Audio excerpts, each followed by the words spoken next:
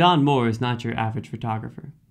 Since the early 1990s, he has traveled to some of the world's most dangerous places to cover stories for Getty Images, an American photo agency. He has covered the conflicts in Somalia, Bosnia, the Congo, Iraq, and Afghanistan. Unfortunately, the most recent conflict that he has covered, the civil war in Libya, was different. They were near the front line, and there were mortars being fired, and there was a battle raging. And um, I, I would never say that they got too close. I would say that they were unlucky. Um, it could happen to any of us. On April 20th, one of Moore's friends at Getty Images, Chris Hondros, was killed by an RPG. Although the danger of conflict journalism is widely acknowledged, it is unusual for such a prominent and experienced journalist to be killed. Despite the dangerous consequences of his profession, Moore believes it is necessary to shed light on the conflicts in the Middle East. He remembers Hondros as one of the best and smartest photographers in the business. He had covered conflict in Iraq and Afghanistan, Liberia, and, and many other places uh, around the world uh, throughout his career, even more so than me. He was part of our sort of photo philosophers um, in this profession. He thought about the consequences of his pictures. He thought very strongly that we needed to be covering these conflicts because without them, they would happen out of the public eye, and that was just completely unacceptable to him. He went back repeatedly to some of the most dangerous parts of the world, and um, and uh, we'll all miss him. The same RPG that hit Chris Hondros on April 20th also killed Tim Hetherington, a British filmmaker who directed the Oscar nominated documentary Restrepo about a U.S. military unit in Afghanistan.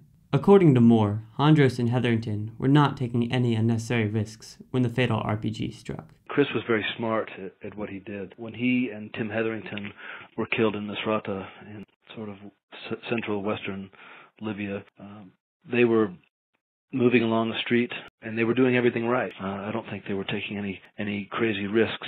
They were doing their job, and uh, and it still happens to even the best in this business. Moore believes that the incident demonstrates that it often doesn't matter how experienced a journalist is or how close they are to the front line. It seems the random chaos of conflict can harm even the most trained and the most knowledgeable war journalists. I've been in conflict zones once, for instance, in Iraq, where I was in a frontline situation, and some journalists five miles back behind me in the rear were killed by a rocket. And so there's no real safety when you're in a conflict zone like that. You try to manage the risk the best you can, but um, but ultimately there's a there's a matter of a matter of luck and, and destiny involved, and um, sometimes you just never know. The deaths of Hondros and Hetherington evoked a profound reaction from the journalist community. The two photographers are the most influential and most accomplished journalists to be killed in recent years. Moore says the U.S. media has been very lucky throughout the conflicts in the Middle East. Since 9 11, we've been covering wars constantly, and very few Western photojournalists, um, and certainly American photojournalists, have been killed. Um, a lot of photojournalists and, and reporters working uh, locally uh, in Iraq, uh, Iraqi photographers, Afghan photographers, Algerian reporters and photographers have been killed over these years. But in terms of people that I've known and people that I'm close to have known um, from the U.S. press corps, we've been very lucky. As a result, the deaths had a large impact at Moore's photo agency. When this hit, it was uh, it was very tough for a lot of us, and it was really especially tough uh, for those of us at Getty Images because uh, we were very close to Chris. Um, he's a colleague, he's a friend, and he's one of the best in the business. The fact that these deaths occurred in Libya is significant.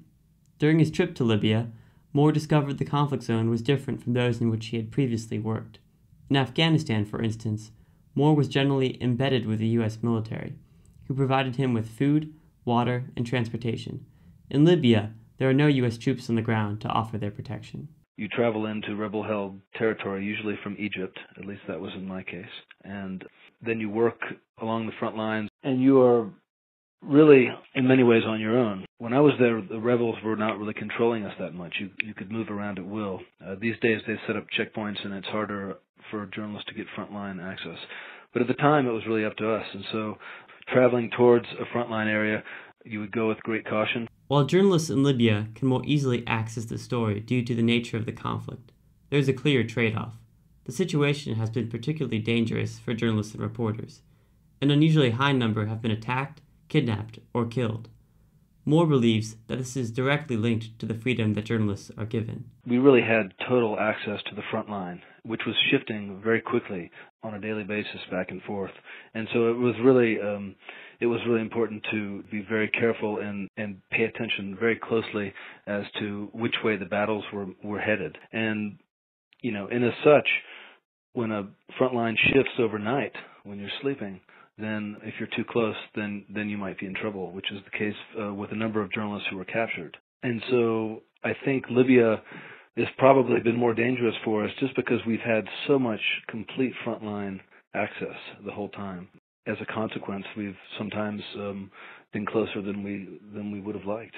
Even though there are no U.S. troops on the ground to offer protection, Moore says that there are still precautions that journalists can take to avoid getting too close to the front line. For instance, you'd make sure that there were cars in front of you moving in that direction and that there were cars coming back towards you on the highway from the other directions.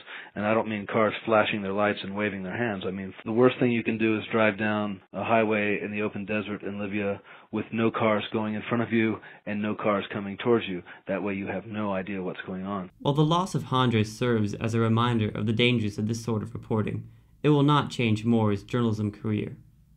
He thinks that the role of a war journalist is as important as ever. Although the U.S. military is involved in multiple conflicts overseas, Americans, including many politicians, focus on domestic issues. Moore feels a sense of duty to tell the story that they are overlooking. We have 100,000 soldiers plus over there. I think it's really important for Americans to remember that we have folks there and that people are getting hurt and dying all the time.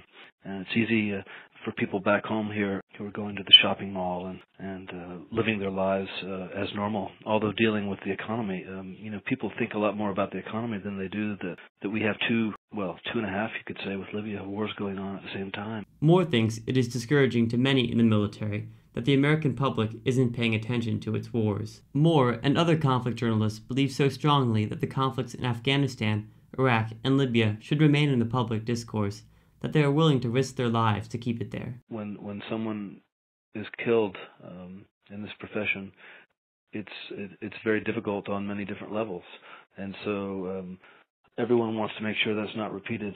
Will it be eventually? Well, this is a tough business. Of course, it will be, but we hope it uh, it's not for a long time, and we hope it's. Uh, you know, we hope it's no one we know. You know, and it's uh, it's tough. It's much tougher when it's someone you know. It's, it's just a fact. Making America pay attention to its own wars involves a lot of risk. It means journalists like Chris Hondros, Tim Hetherington, and even John Moore himself have to put their lives at stake. According to Moore, the mission is worth the risk. For War News Radio, I'm Stuart Russell.